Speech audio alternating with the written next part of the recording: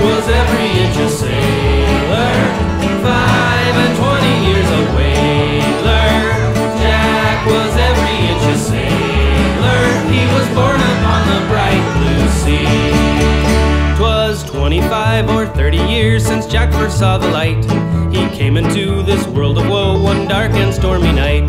Twas born upon his father's ship while she was lying to, about 25 or 30 miles south of Baccalieu.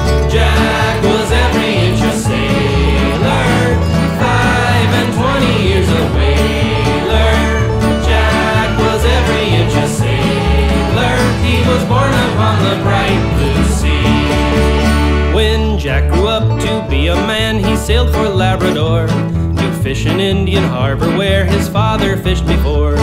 Upon returning in a fog, he met a heavy gale, and Jack was swept straight overboard and swallowed by a whale. Jack was every inch a sailor, five and twenty years a whaler. Jack was every inch a sailor, he was born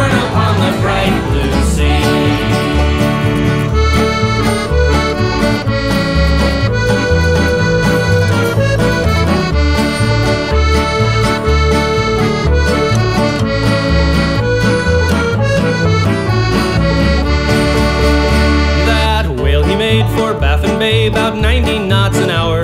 And when he stopped to blow a spray, he sent it in a shower. What's this? said Jack unto himself, I'll see what he's about. He grabbed that whale all by the tail and turned him inside